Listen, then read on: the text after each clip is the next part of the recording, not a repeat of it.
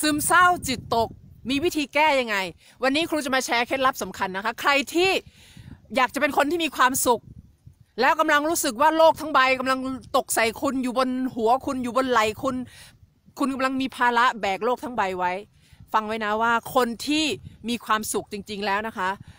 เอ่อไม่ได้แปลว่าเขาจะไม่คิดลบเลย ไม่ได้แปลว่าเขาจะไม่มีอารมณ์ลบเลย แต่สำคัญที่ว่าคุณจะต้องรู้จัก express คุณจะต้องรู้จักแสดงอารมณ์นั้นออกมา รู้จักเอ่อไม่เก็บอารมณ์อะไม่เก็บอารมณ์เข้าใจไหมคะมันมันไม่ไม่ใช่แปลว่าคุณจะไปไปไปไปด่าหรือไปเอ่อเอ่อแสดงอารมณ์ที่น่าเกลียดน่าเกลียดไม่ไม่ใช่อย่างนั้น แต่หมายความว่าเวลารู้สึกอะให้คุณยอมรับว่ารู้สึกแล้วเอ่อ express มันออกมา ปลดปล่อยมันออกมา แต่คุณควบคุมมันได้นะ ปลดปล่อยมันออกมาในความรู้สึกในความรู้ตัว ว่าคุณกำลังโกรธนะ คุณกำลังเศร้านะ ให้คุณรู้รู้ตัวก่อน เสร็จแล้วนะคะการที่คนซึมเศร้าเยอะๆเนี่ยเพราะเขาเก็บเยอะเขาไม่เคยแสดงออกเขาไม่เคย express เพราะฉะนั้นจำไว้อย่างหนึ่งว่าอารมณ์ของคุณเนี่ยเวลามันเกิดขึ้นเวลาเกิดอารมณ์ลบขึ้นมา คุณแค่ให้รู้ตัวยอมรับ แล้วก็ มันเป็นสัญญาณว่าโอเคนี่ action แล้วนะ นี่เป็นสัญญาณที่ทำให้ฉันเอ่อจะออกจากอารมณ์นี้ อารมณ์ลบที่มันเกิดขึ้นเนี่ยมันมีประโยชน์ มันมีประโยชน์ ให้คุณรู้ว่าโอเค ถึงเวลาที่คุณจะต้องไต่ระดับขึ้นไปนะ คุณจะต้องไต่อารมณ์ขึ้นไป ไม่จำเป็นต้องสมมุติคุณติดลบสิบเนี่ยซึมเศร้าแบบสุดๆเลย ไม่จำเป็นต้องเอ่อไปบวกสิบทันทีนะคะ คุณไปทีละระดับทีละระดับไต่ขึ้นไปทีละนิด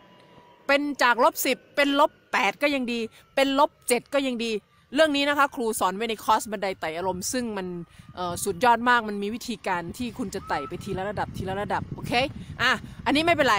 คนที่ออยากจะเรียนเพิ่มเติมก็ไปศึกษาหรือไปฟังในไลฟ์ครูครูจะพูดอธิบายยาวๆให้ฟังนะคะ หลังจากนั้นนะคะคนที่เป็นซึมเศร้าสาเหตุหลักเนี่ยคนที่จิตตก ไม่ใช่แค่ซึมเศร้านะจิตตก คนที่ไม่ได้เป็นโรคซึมเศร้าแต่จิตตก สาเหตุหลักๆ คือเขาคิดมากเกินไปว่า คนอื่นจะมองเขายังไง คนอื่นจะคิดกับเขายังไง คุณทำงานพลาดวันนี้ คุณพูดอะไรผิดไปวันนี้ คุณคิดไปแล้วว่าคนอื่นต้องมองคุณแบบนี้แน่เลย คุณคิดไปแล้วว่าคนอื่นจะต้องมองว่าคุณล้มเหลวแน่เลย คุณคิดไปแล้วว่าคนอื่นจะต้องมองคุณว่าเป็นผู้หญิงแบบนั้นแน่เลย เป็นผู้หญิงแบบนี้แน่เลย เป็นผู้ชายที่ล้มเหลว เป็นผู้ชายที่ไม่เอาไหนแน่เลย รูยกตัวอย่างนะ สาเหตุหลัก the major cause of depression ของโรคซึมเศร้าคือคิดว่าคนอื่นจะมองตัวเรายังไงสำคัญมีวิธีหนึ่งที่จะรักษาได้นะ คือ self love การรักตัวเอง คุณจะต้องรักตัวเองยอมรับตัวเองให้ได้ มันเกี่ยวกับการรับรู้อะการรับรู้คืออะไร คือการรับรู้ว่าคุณรับรู้ยอมรับตัวเองมองตัวเองแบบไหน มันสำคัญมันยิ่งใหญ่กว่าคนอื่น มองคุณรับรู้ในตัวคุณยังไง มันสำคัญกว่ามากสำคัญมากที่สุดเลย ว่าคุณนะมองตัวเองยังไง เพราะฉะนั้นสิ่งนี้เป็นสิ่งที่หลายคนนะคะ มองข้ามคือไม่คิดว่าตัวเอง worthy มีคุณค่า worthy worthy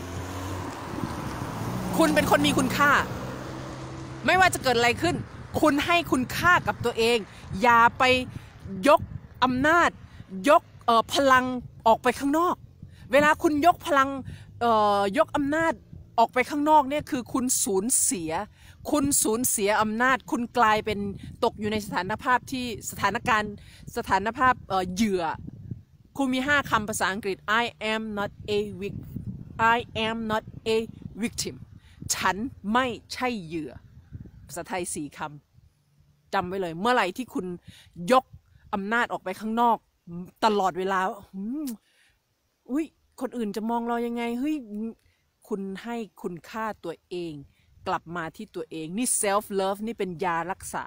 อาการจิตตกได้ดีที่สุดเลย เพราะว่า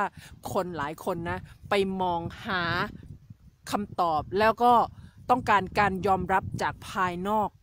มาก จนลืมว่าตัวเองนี่มีคุณค่า เพราะฉะนั้นให้คุณค่ากับตัวเองก่อนนี่คือสาเหตุใหญ่เลยนะ ถ้าคุณยอมรับตรงนี้ได้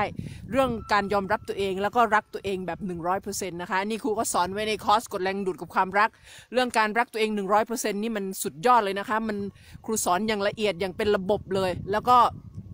อยากจะบอกว่าไม่ว่าจะยังไงก็ตามอะ ยอมรับตัวเองให้ได้ขึ้นอยู่กับมุมมองที่คุณมองตัวเองยังไงก่อน เอาแค่นี้แล้วกัน เพราะว่ามันเกี่ยวกับว่าคุณกำลังคิดยังไงกับตัวเอง แล้วคิดว่าคนอื่นคิดยังไงกับตัวเอง อย่างนั้นไม่ใช่ เวลาที่คุณจิตตกซึมเศร้านี่คุณกำลังคิดว่าโลกทั้งใบนี่คือมันกำลังแบบ มันเหมือนจะไม่มีอะไรเหลือแล้วอะเหมือนทุกอย่างมันจบลงแล้ว ไม่ใช่ ตัวคุณมีคุณค่ามาก ๆ เพราะฉะนั้นยอมรับตัวเอง ให้คุณค่ากับตัวเอง บอกตัวเองว่าฉันเป็นคนมีคุณค่า คุณมีคุณค่ามากแค่ไหน คุณเเก่งขนาดไหน คุณไม่เคยรู้